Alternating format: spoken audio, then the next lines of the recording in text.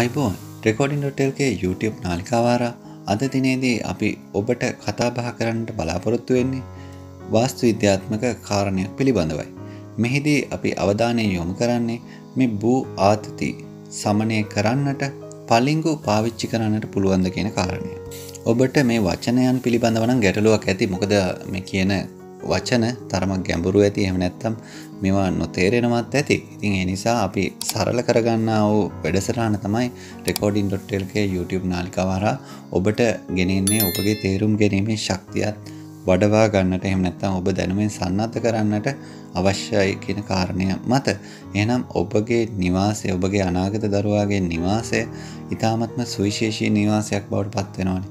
ඒ සුවිශේෂී නිවාසයේ තියෙන වාස්තු විද්‍යාත්මක වපසරිය ඉඩම මිලදී ගැනීමේ ඉඳලා නිවාසය සැලසුම් කරගැනීමේ ඉඳලා නිවාසය ඉදිකිරීමේ ඉඳලා නිවාසය ඉදිකරට පස්සෙ කරන කටයුතු වල ඉඳලා බොහොම යහපත් තත්ත්වයකට පත් කරගන්නටයි ඔබේ අපේක්ෂාව.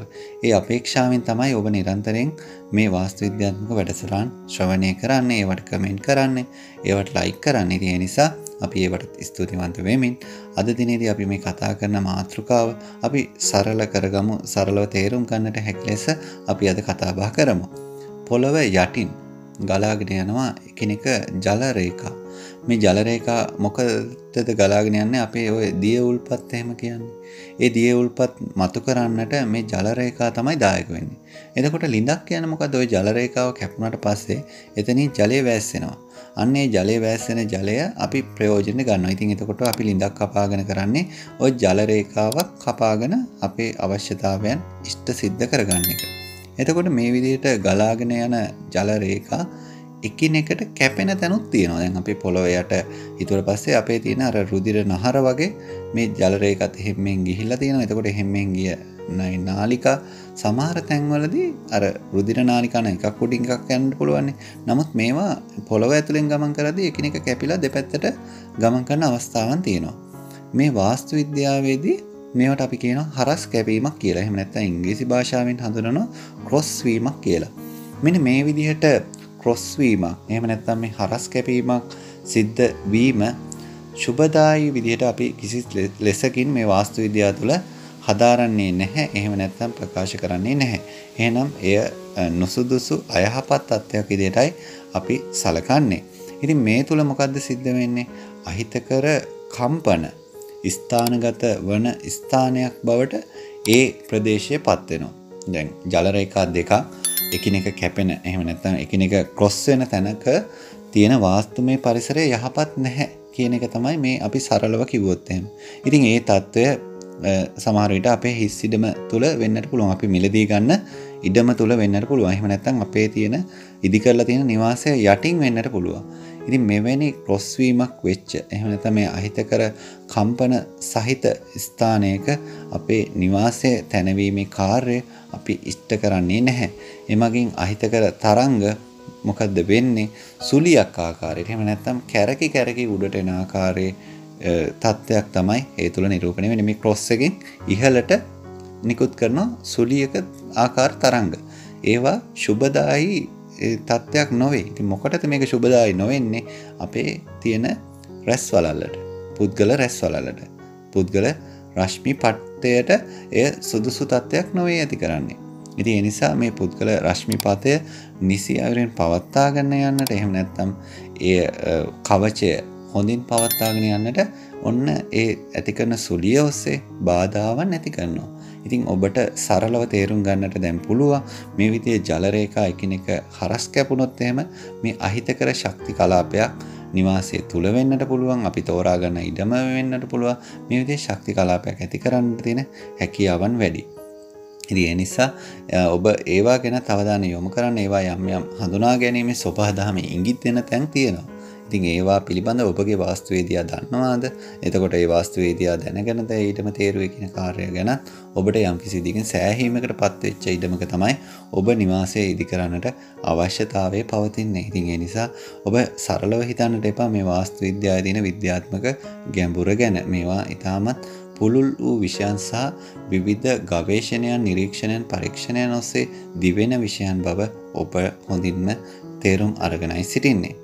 හාට්මන් ලයින්ස් විදිහට අපි හඳුනනවා පොළවෙන් ගමන් කරන රේකාවන් එහෙම නැත්නම් මේ කළු රේකාවන් එකිනෙක ඡේදනය වෙලා ඒවාගෙන් භූ ආතතින් නිර්මාණය කරන තත්ත්වයන්. ඉතින් මේ අපි දැන් කතා කරපු ජල රේඛා වගේම තවත් රේඛාවන් මේ පොළවේ ගමන් කරනවා. ඒ එක්තරා රේඛාවක් තමයි මේ හාර්ට්මන් ලයින්ස් කියලා හඳුන්වන්නේ.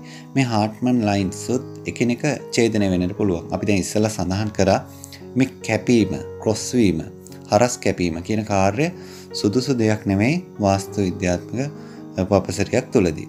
එතකොට මේ කළු රේඛාවන් විදිහට තමයි මේ හඳුන්වන්නේ හාර්ට්මන් ලයින්ස්. එතකොට මේ කළු රේඛාවන් ඡේදනය ඔස්සේත් භූ ආතතීන් නිර්මාණය කරන පොළවෙන් දෙන විවිධ අයහපත් තරංගයන් ඇති කරන්නට හේතු නිර්මාණය වෙනවා. ඉතින් ඒ නිසා ඔබ සරලව සිතන්නට එපා ඔබගේ ඉඩම තේරීම පවා ඉතාමත්ම වැදගත් කාර්යයක් බවට පත්වෙනවා වාස්තු විද්‍යාත්මක කාර්යයක් බවට පත්වෙනවා ඒවා ලඝුකොට සුළුකොට තනන්නට බැරි තත්ත්වයකට පත්වෙන නිසා ඉඩමේ තේරීමේ සිට ඔබ සුවිශේෂී අවධානයක් යොමු කරන්නට වෙනවා. තරංගයක් නිරෝධායනයක් විදියට හඳුන්වන්නේ එක් තරංගයක් තවත් තරංගයකින් කපා හැරීමේ කියන කාර්යය. ඉතින් එවැනි තත්ත්වයකදී මේ භූ ආතතීන් නිරෝධායන මට්ටමකට පත් කරගන්නට හැකියාවන් තියෙනවා. ඉතින් ඒ සඳහා අපිට පාවිච්චි කරන්නට පුළුවන් එක්තරා පාෂාණයක් තමයි මේ පලිංගු කියලා හඳුන්වන්නේ.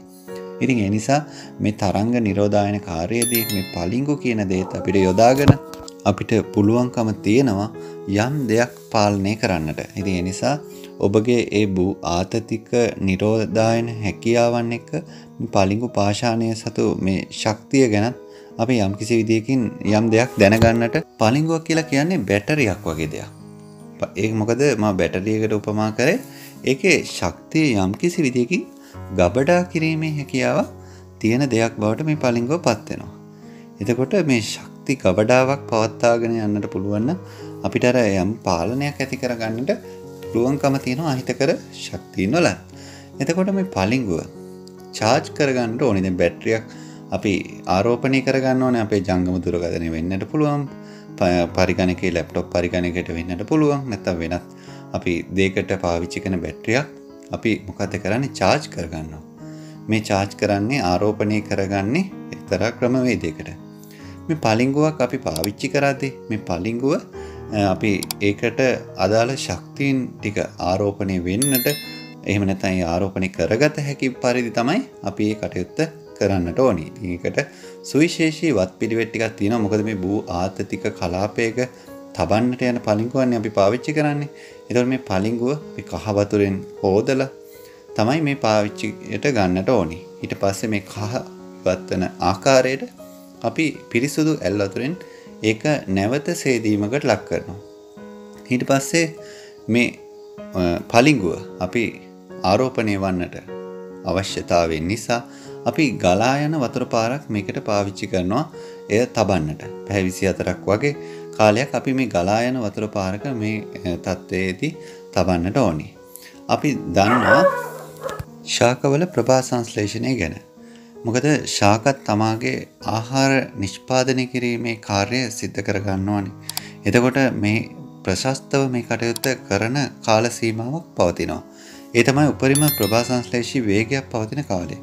ඒ උපරිම ප්‍රභා සංශ්ලේෂණ වේගයක සාමාන්‍ය එහෙම නැත්නම් උපරිම වේගය පෙරවරු 11ට ආසන්න කාලයේ තමයි මේ කටයුත්ත සිද්ධ වෙන්නේ. ඉතින් ඒ අවස්ථාවදී අපිට පුළුවන් මේ පලිංගුව ඒ සඳහා පාවිච්චි කරන්නට. එහෙම නැත්නම් මේ පලිංගුව සූර්යාලෝකයේ තබන්නට හිරුගේ තියෙන ශක්තියින් ටික ආකර්ෂණය කරන පලිංගුවක් බවට පත් කරගන්නට. ඉතින් ඒ අවස්ථාවේදී අපිට 11 විතර වෙනකන් කාලයේදී උදෑසන සිට 11 විතර වෙනකන් කාලයේදී මේ පලිංගුව අපිට සූර්යාලෝකයට නිරාවරණය වෙන ආකාරයට තැබීම තුළ ඒ කටයුත්ත කරගන්නට හැකියාව තියෙනවා. මේ පාලිංගුව පසළොස්සක පොහොය දාක පෙර දවසේ රාත්‍රියේදී සඳ එළියට නිරාවරණය කිරීම තුළ මේ චන්ද්‍රයාගේ ශක්තියින් ටික ආකර්ෂණය කරගන්නට හැකි පලිංගුවක් බවට අපිට පත් කරගන්නට පුළුවන්. ඉතින් ඒ කාර්යයේදී අපිට ඊ타මත්ම වැදගත් චන්ද්‍රයාගේ ශක්තියින් වල තියෙන ආකර්ෂණීය ශක්තිය මේ පලිංගුව සතු කර ගැනීම පිරිසුදු චන්ද්‍ර ශක්තිය සූර්ය ශක්තිය මේ දෙකම අපි පලිංගු තුළ ගබඩා කර ගැනීම ඉතාමත්ම වැදගත්. ඒවැනි පලිංගුවක් අපිට මේ භූ ආතතික ඇති වූ ප්‍රදේශයක තබාගන්න පුළුවන් එය තරමක හෝ අර වාස්තු වපසරියේ තියෙන යහපත් භාවයට එහෙම තමයි තරංග නිරෝධායන කාර්යයට අයහපත් තරංගයන් යම් කිසි විදිකින් කපා හැරීමක් කරන්නට හැකි වස්තුවක් බවට පත් කරගන්නට පුළුවන්කම තියෙනවා. එහෙනම් අපි තවත් ඔබත් සමග වාස්තු විද්‍යාත්මක වැඩසටහනින් හමු වෙන තෙක් ඔබට ආයුෂ බොහෝ වන්නට ප්‍රාර්ථනා කරනවා. ආයුබෝවන්